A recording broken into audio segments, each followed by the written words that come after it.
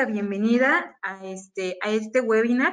Les pedimos hablar amablemente que tengan su micrófono apagado durante la plática. Ahorita les vamos a dar a conocer las promociones que vamos a tener válidas durante este mes. ¿Sí? Que aparezcan, que no están cargando.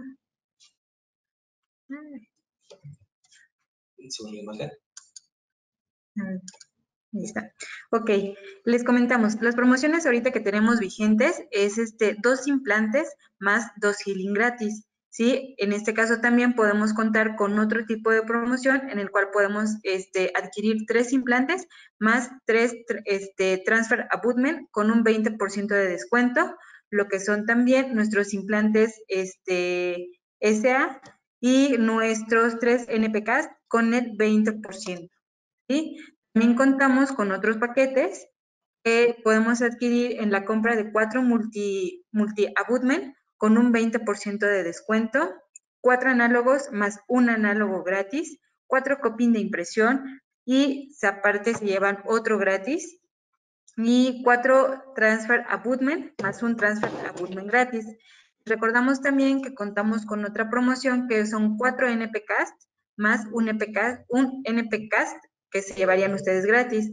Contamos con dos paquetes, ¿sí? En el cual ustedes pueden adquirir lo que es un paquete de implantes con aditamentos y se van a llevar gratis por 50 mil pesos, ya sea el CAS Kit, que es nuestro kit de elevación de seno vía lateral, o nuestro S-Kit, que es para el, procedimiento de expansión de cresta ósea. Les, les recomendamos, pues bueno, seguirnos en la página y este, ahí que nos puedan contactar para que un asesor les pueda dar más información. Los dejamos en este momento con el doctor Ulises. Buenos días a todos, bienvenidos sean a este webinar del doctor. Doctor, bienvenido a su webinar. por favor, no olviden que vamos a hacer una ronda de preguntas. Cualquier pregunta que tengan, por favor, colóquenla en el chat. Sin más, doctor, buenas tardes. Muchas gracias por acompañarnos en otro webinar más. Sin más, es todo suyo el micrófono, doctor. Muchas gracias. Muy buenos días a todos otra vez y un gusto estar de nuevo con ustedes. Eh, repito mi nombre, soy el doctor Ulises Neria, soy cirujano maxilofacial egresado del Hospital Central Militar. Hoy vamos a hablar específicamente de la expansión crestal por medio del S-Kit. El S-Kit es un, eh, redundando la palabra, un kit muy, muy útil. La verdad es que indudablemente nos facilita mucho las, las opciones o nos da una opción más a, a la situación de expansión crestal. Quiero iniciar con esta frase en la cual a veces eh, hay muchas cosas que quisiéramos o solo lo pensamos que pueden ser posibles, pero no lo intentamos. hay que hacerlo.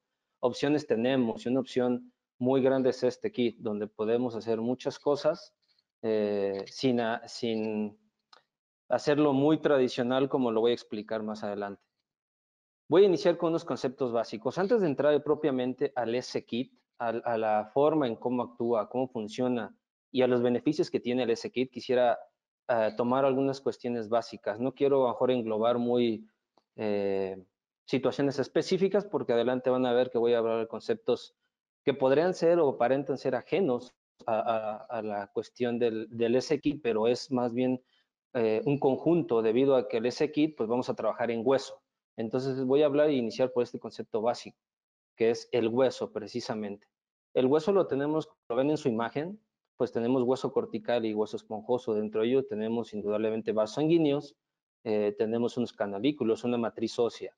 Podemos ver en su pantalla inferior del lado izquierdo que no es lo mismo esa cuestión ósea que tenemos a nivel microscópico que el lado derecho, donde tenemos una desmineralización del hueso y una diferente trabeculado. Esto nos va a dar eh, la cuestión de pensar qué podemos hacer con el esequido o qué no podemos hacer también eh, en relación al hueso. También eh, retomando un poquito las cuestiones de las clasificaciones de la calidad de hueso, como lo dijo Le Comisar en el 85, habla específicamente del tipo 1 al tipo 4. Eh, seguramente esto ya muchos lo saben. Y esto es lo que nos va a, decir, eh, tal vez en al final alguna pregunta, decir, ¿y cuánto puedo expandir? ¿Y cuánto no puedo? ¿O hasta nivel o hasta cuándo para evitar alguna situación de fractura ósea. Tomen en cuenta que al final cuando termine de hablar acerca del KIRI, antes de pasar con los casos clínicos, eh, tomen en cuenta estas, estas situaciones que les estoy hablando, debido a que esto es algo importante y es una base teórica. Voy a, hablarles de, de biomecánica ósea. La biomecánica ósea es la principal situación que tenemos que tener en nuestras mentes antes de querer usar un kit y claramente poner un implante. Aquí hay muchas cosas muy eh, claras, se los puse con dos términos sencillos que significa fuerza.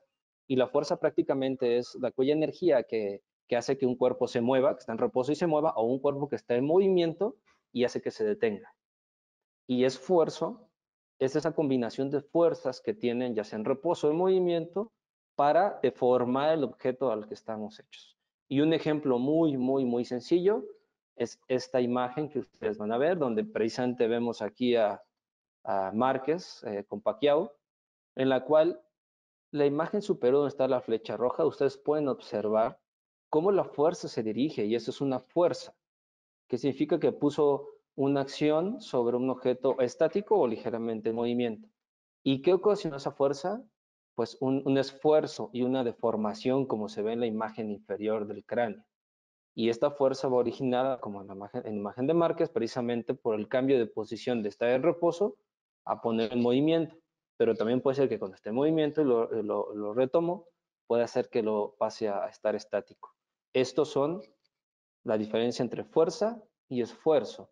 Es bien importante que los, lo vayan eh, tomando, lo vayan escribiendo, lo vayan pensando, porque al final estas son las bases para cómo funciona este kit. Y bueno, continuando con la biomecánica ósea, dentro de los esfuerzos tenemos eh, una frase, una palabra, o un, no, no sinónimo, de una palabra que se llama solicitaciones.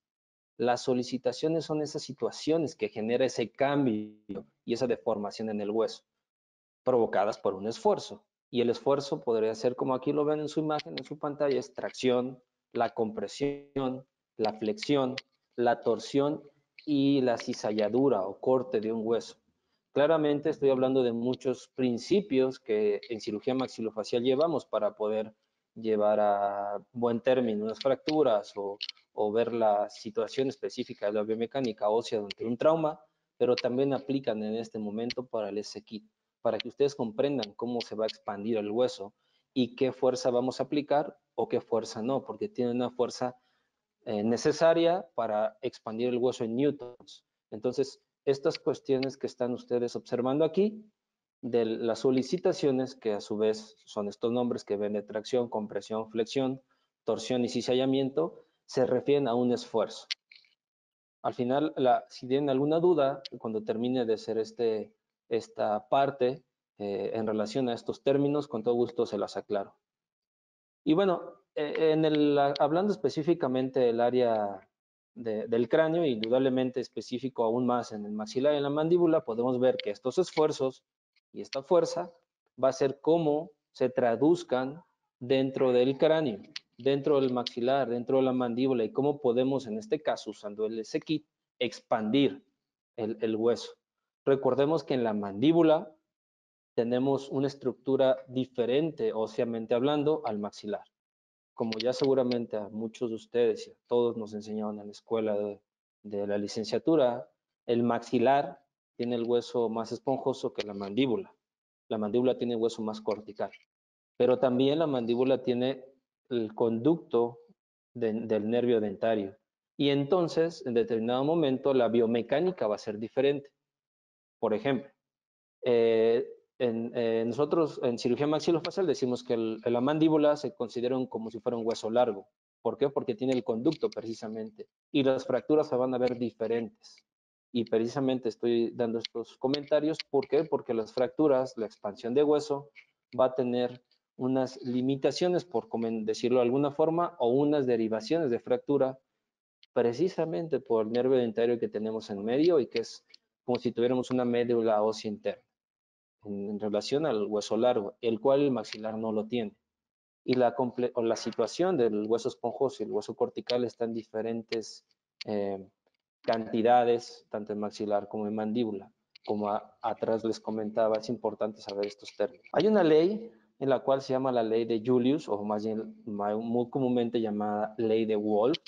Esta ley de Wolf nos habla de la biomecánica específicamente aplicada a nivel óseo y habla sobre la remodelación que tiene este hueso en base a la influencia de estas solicitaciones mecánicas que les explicaba anteriormente.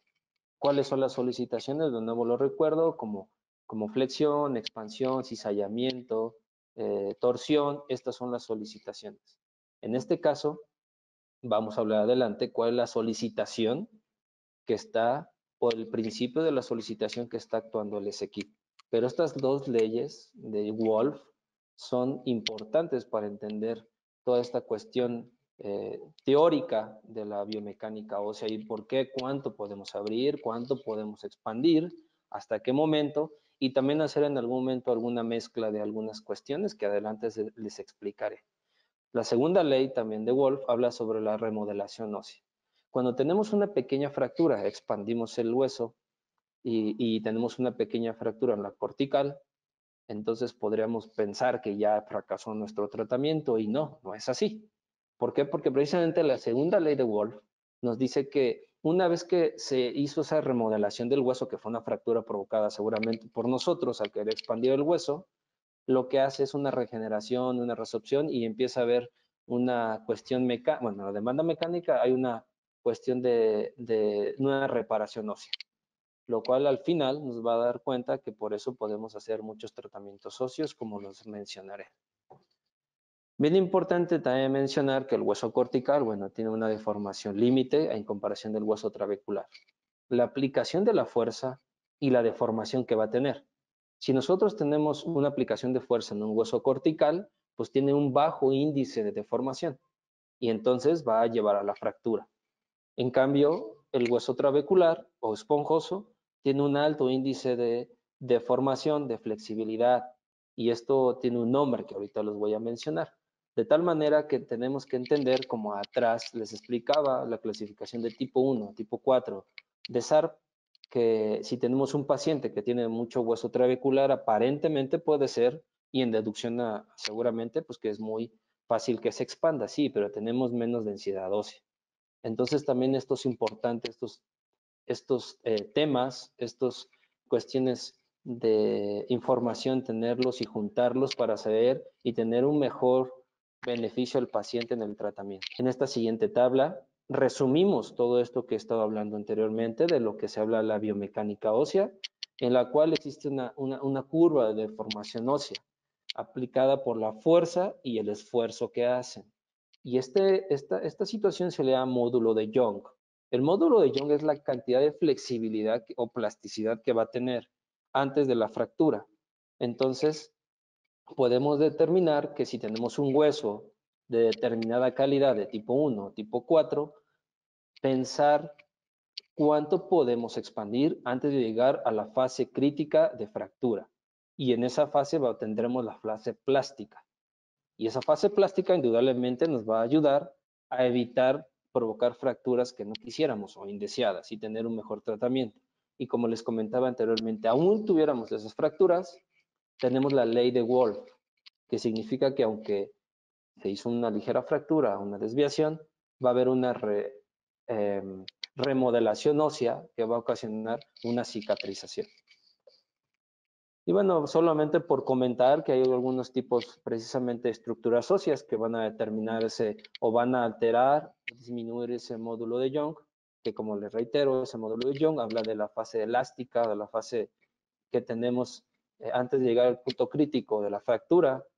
Y, es importante saber que la mineralización del hueso nos va a dar una determinación a qué vamos. Y bueno, ¿qué, hablo con esto? El paciente indudablemente si tenemos una historia clínica y podemos hablar con él y nos da unas características indudablemente aparte de la eh, hipertenso o diabético o alguna situación, sino que también características o enfermedades más bien óseas puede tener. Y esto podemos pensar en sí o no ponerle implantes primeramente y si en sí pensamos colocarle un implante, bueno, y a lo mejor en su momento necesitamos hacer una expansión, ¿qué podemos o hasta dónde podemos llegar con la expansión? ¿Es muy útil y muy sencillo? Sí, indudablemente es muy útil el SX. Es, como adelante lo comentaré, es económico y fácil de usar. Claramente tiene una curva de aprendizaje, en la cual si lo usas de primera vez te va a ser un poco complicado en la situación de que tienes que tener esa habilidad de tomarlo y cuando hace el corte del hueso brinca y tomar la resistencia firme, que claramente sería bueno que tomaran algún curso con OSTEM o con Hayosen, más bien, que es de OSTEM, para que modelos puedan practicarlo y eviten tener esas situaciones específicas en el paciente. Pero bueno, retomando el tema que habla de la biomecánica y en esta situación específica del tipo de hueso, también cuando utilizas el sistema de ese kit, puedes aplicar o no determinada fuerza para poder llegar a, una adecuada eh, solución de la expansión. Reitero, tomando en cuenta la historia clínica del paciente, de algún problema óseo que pueda tener eh, y determinar si sí o no es candidato para hacer determinado tratamiento de implantes y de expansión ósea. Aquí esta tabla les puede dar unos ejemplos. Por ejemplo, si hay disminución en las moléculas de colágeno, bueno, va a tener a lo mejor la dureza no va a ser tan tanta, la tensión va a ser, la deformación no va a ser adecuada. Si tiene una cuestión en, rotura, en la rotura de los enlaces de mineral de colágeno, va a tener pues una deformación adecuada. ¿no? Tal vez no lo vamos a saber y el paciente tampoco lo va a saber inicialmente, pero bueno, sí podemos, tendremos que entender y, meternos a, la enfermedad si el paciente nos refiere una a nivel óseo y saber qué puede dar esa enfermedad, cómo, cómo se suscita. No solo a veces nos quedamos con la idea de, es que tiene una enfermedad ósea, ¿no? Osteoporosis. No se puede, ya, ya, no se puede nada. Sí, hay que ver en qué fase está el paciente, mandar unos estudios necesarios y saber si estamos nosotros en la capacidad de hacer ese tratamiento o necesitaremos llamar algún especialista que tenga más conocimiento en eso, que nos pueda ayudar y decir, oye, ¿podemos o no podemos?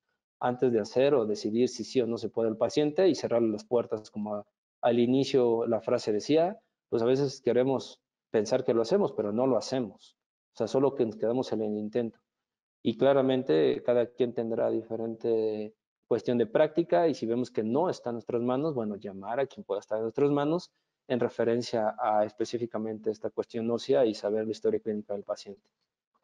Y bueno, dentro de los conceptos, siguiendo con los conceptos básicos, llegamos a esta situación después de hablar de un poco de la biomecánica, un poco de, la situación de, de por qué sí podemos o no podemos poner un implante. Porque la finalidad de hacer la expansión es precisamente poner un implante.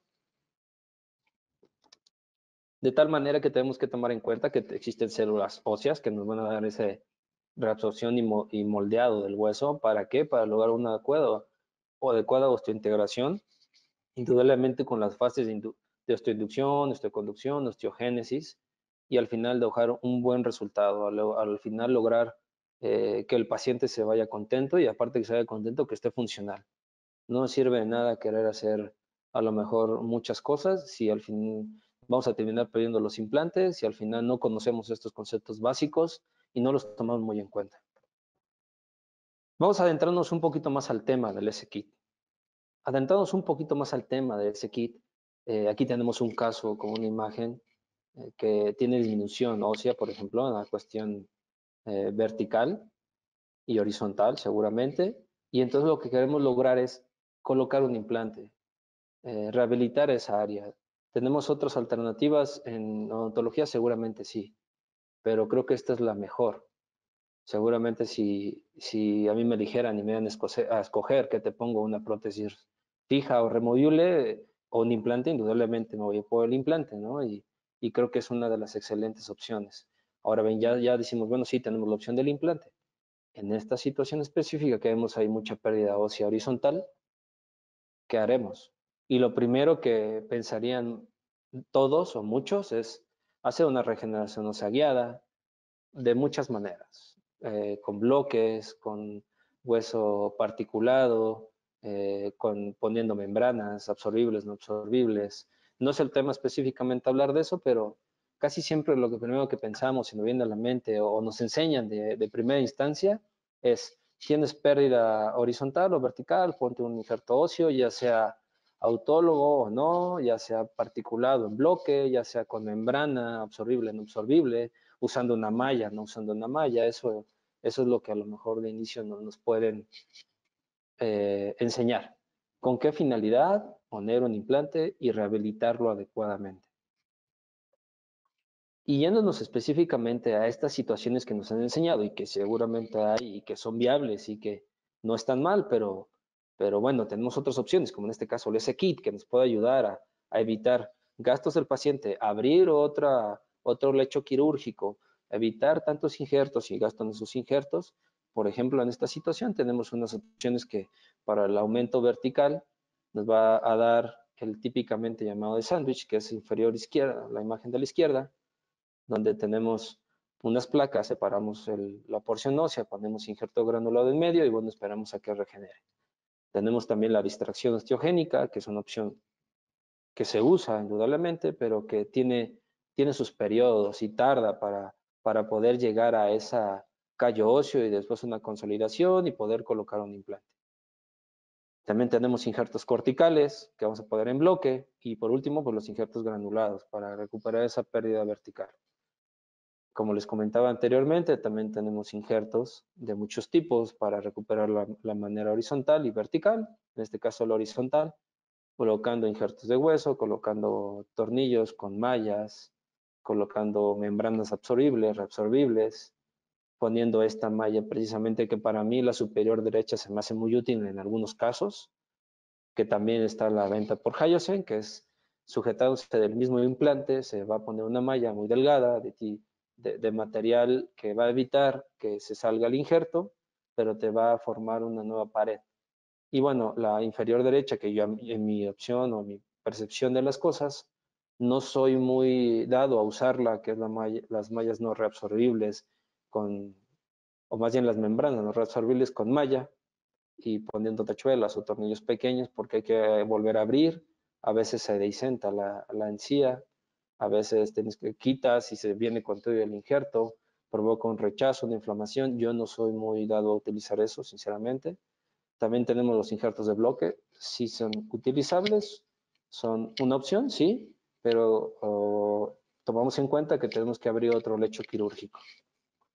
Y bueno, existen también otras teorías que hablan precisamente de una fractura en tallo verde, como la imagen izquierda, donde con múltiples eh, técnicas, se puede hacer un corte sobre el, en este caso están dando a entender la mandíbula, y ese corte después se mete en unos cinceles, se pueden meter algún tipo de legras, aplicar fuerza, retomo la situación de la fuerza, que va a provocar un esfuerzo, o sea, una modificación, y, esto va a ocasionar una fractura, ¿no? Y esta fractura se llama fractura en tallo verde porque queda una pequeña porción de hueso tomada, ¿no? Aparte del periósteo. Y también existe la, opción de la, fractura desplazada, es una isla que se desplaza completamente como si fuera un bloque, digámoslo, pero es parte del mismo situación y lecho quirúrgico, pones injerto granulado y cierras y de alguna forma te, mejora la porción horizontal. Y, y, estas situaciones específicas, antes de entrar propiamente a esta imagen que es del S-Kit, quisiera decir que si, si alguno de ustedes la ha visto, o la ha hecho, este tipo de cirugías. Si alguno de ustedes ha intentado golpear al paciente, me refiero a golpear al hecho de poner un cincel y empezar a, martillarlo consciente, aunque es con, anestesia local, muchos pacientes se estresan. Muchos pacientes pesan con dolor de cabeza, indudablemente, aunque sean golpes pequeños, aunque sean golpes eh, modulados, siempre el paciente lo toma como una agresión o algunos eh, sienten como que no, no les gusta y aunque algunos soportan indudablemente eso, al final dices que sí, sentía que me dolía la cabeza con cada golpecito que me daba. Entonces, precisamente, aunque ya les platiqué que hay otras situaciones, tenemos esta alternativa, ¿no? Precisamente del S-Kit, que usando algunas fresas, algunos discos y expansores, podemos lograr lo mismo o mejor, yo creo que diría mejor, eh, sin generar tanto esas situaciones del paciente que perciben como agresiones.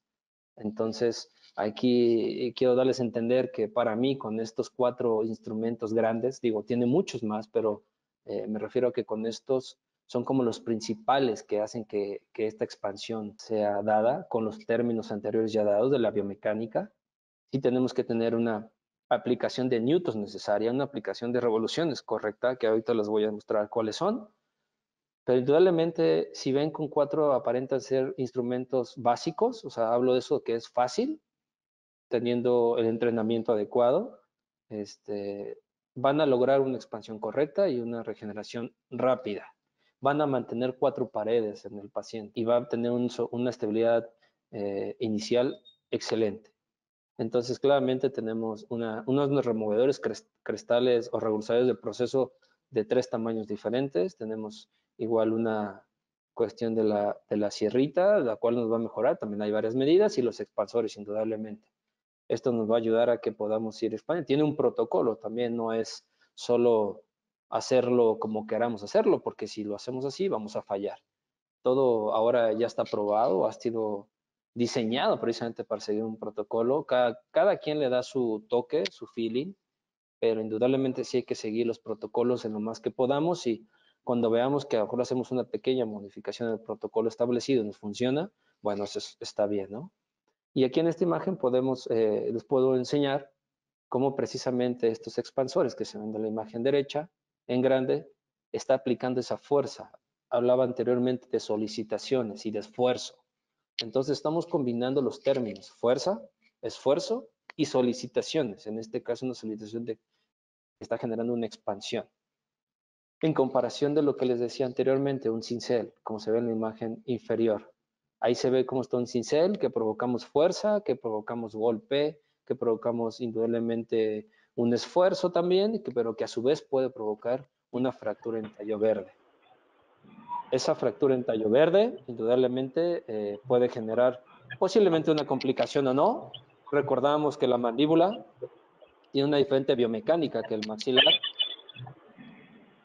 de tal manera que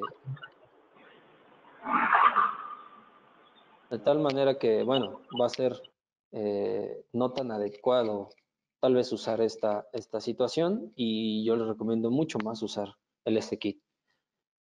Tenemos esta imagen superior donde les comentaba anteriormente que debe haber una fase indudablemente de entrenamiento, no es solamente toma el kit y úsalo. Eh, creo que debe, deben de por lo menos practicar algunas veces para que no puedan tener eh, alguna lesión en el paciente. son revoluciones altas. Les voy a comentar una situación específicamente que a mí me pasó con el papá de un amigo este, que confió en mí y le puse sus implantes, le hice una expansión, es parte de uno de los casos clínicos estaba yo haciendo la expansión con la sierra, eh, se mueve el labio y alcancé a, cortar un poco el labio. Afortunadamente no fue nada serio y, con esto hablo que tienen que tener un control de los instrumentos. A lo mejor no fue mi culpa directa al, al, moverme, porque bueno, quien estaba ayudando se le mueve el labio, cae sobre la sierra, yo al quererla quitar alcanzo a, a tocarlo un poco y indudablemente son situaciones que el aprendizaje te va dando, ¿no? Que, que debes de tener ese control de, los instrumentos. Y bueno, bien, vamos a entrar a, seguramente algunas preguntas, me voy a adelantar o ir resolviendo. ¿Cuánto podemos expandir? ¿Hasta cuánto y por qué? Bueno, en un reborde alveolar desdentado atrófico podemos tener mínimo para usar esta técnica de 3 a 4 milímetros. Lo mínimo es 3, lo 4 es lo ideal. Me refiero a ideal dentro de lo mínimo. ¿Por qué? Porque tenemos que tener este, algunos protocolos, algunos artículos nos dicen que tenemos que tener por lo menos un milímetro en vestibular y en igual, en este caso hablando de la mandíbula, para que el implante quede adecuadamente, ¿no? En otros, en otros artículos nos dicen que debe ser lo mínimo 2 y 2 milímetros. Hay algunas diferencias. Eh, recordemos que indudablemente cada quien en base a su experiencia va a decir, esto creo que sí sirve, esto creo que no, y, y bueno, solamente tomar en cuenta que tengamos un parámetro no estamos en contra ni de quien dice que es de un milímetro, ni en contra de quien dice que es de dos. Pero eh, a mí me gustaría, a mí me gusta más seguir la cuestión de que sea dos milímetros, o sea, tenemos que tener cuatro para cortar en medio y poder hacer la expansión. ¿A cuánto, ¿Hasta cuánto vamos a expandir? Hasta 4.5 o para un implante de 4.5 milímetros.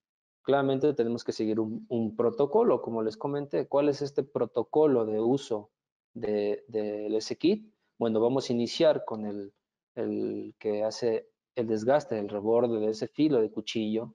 ¿A cuántas revoluciones? 1200 a 1500.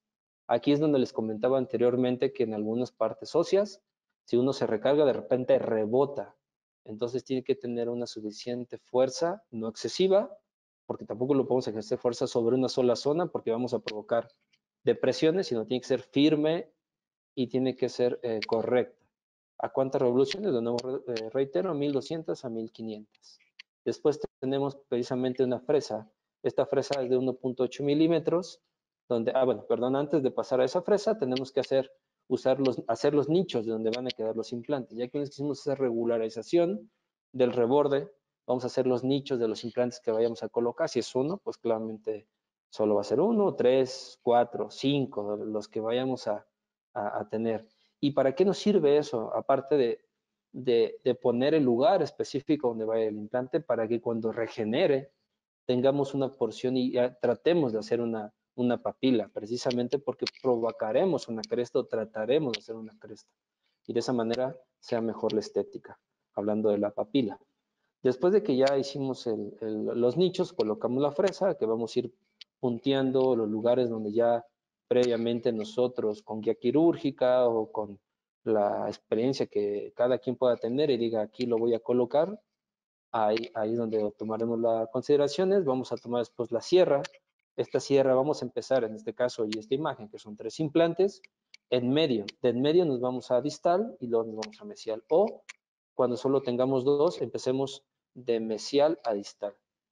Entonces es bien importante escoger también la sierra, vienen de diferentes tamaños y eso en, referencia a cuánto tenemos en cuestión vertical del hueso.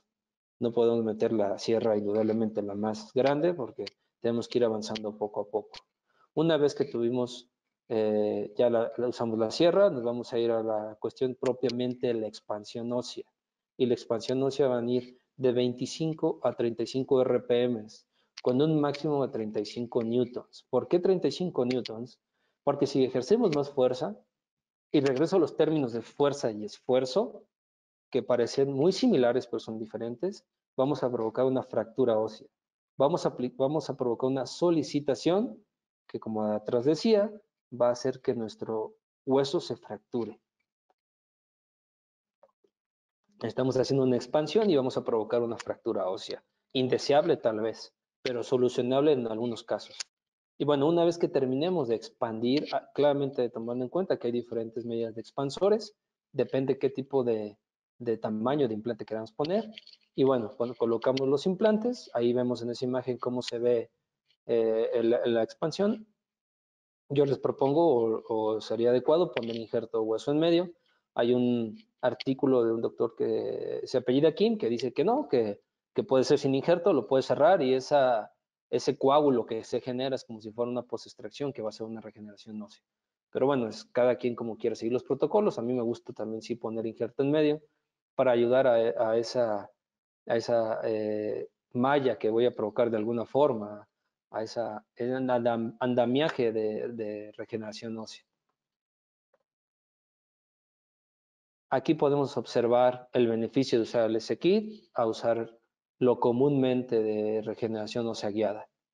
Porque comúnmente, y se ve tomográficamente, como las fuerzas van aplicadas solo a una pared, lo demás tenemos que esperar a que el injerto se adapte, colocar también membranas. Digo, no, no, no, con esto quiero decir que conocemos el S-Kit no coloque membranas, se pueden colocar, pero no tenemos una suficiente soporte en paredes. En cambio, con el S-Kit, después de la expansión, también nos va a provocar una presión sobre el implante, es una, va a mantener la estabilidad primaria y a su vez las fuerzas se van a repartir. Eso es algo importante que tenemos que saber de las fuerzas, indudablemente a nivel de la biomecánica ósea, como lo reitero y lo comento. De tal manera que el uso del S-Kit nos va a dar una solución económica, porque solo con el uso del S-Kit no vamos a tener que tomar injertos o comprar injertos granulados, no le vamos a tener que cobrar más al paciente, porque tenemos que tomar otro lecho quirúrgico para pasar un bloque. Va a ser simple, solamente con un entrenamiento indudablemente. Va a ser predecible porque vamos a saber si vamos a, hasta, cuánto podemos expandir porque hay diferentes eh, tamaños de expansores. Entonces, depende el tipo de hueso que podamos entender en una tomografía y ver las unidades Huntsfield y podemos decir hasta determinado podemos expandir, hasta, hasta determinado este expansor podemos colocar pues podemos hacerlo predecible. Y seguro porque realmente no, como les enseñaba antes, no son como eh, que podamos afectar más cosas, ¿no? Simplemente haciendo el protocolo correcto, no vamos a tener que hacer o dañar otras estructuras. Es rápida la regeneración y reiterando es rápida. ¿Por qué? Porque te mantenemos las cuatro paredes y una mini fractura ósea y una adecuada estabilidad primaria, como ya les había dicho en la imagen anterior. Entonces, esto, con esto resumimos lo que es el S-Kit. El S-Kit indudablemente nos da una solución excelente. Lo he usado en varias ocasiones, me gusta usarlo cuando los rebordes alveolares están atróficos y la mayoría a veces voy a algunos consultorios de unos amigos míos doctores o doctoras y me dicen, oye, es que aquí, mira, hay que hacer una regeneración y eh, me dan muchas opciones, pero nunca en su mente pasa, oye, ¿por qué no lo expandimos? Porque tal vez no lo conocen, porque tal vez no saben estas cuestiones de biomecánica en su momento o no lo han llegado a encontrar en algún artículo. Bueno, ahora les enseño esta situación específica del S-Kit, donde tenemos una alternativa bastante buena. Un gusto tenerlo de nuevo en otro webinar, doctor. Esperamos que tenga un hermoso día. De igual manera, todos doctores, muchas gracias por su asistencia, por su interés.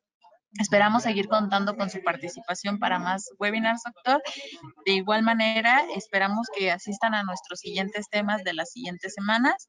Sin más, de parte de Hayosen, como siempre, le damos las gracias por su tiempo, en especial, doctor, y que tenga un bonito día, doctor.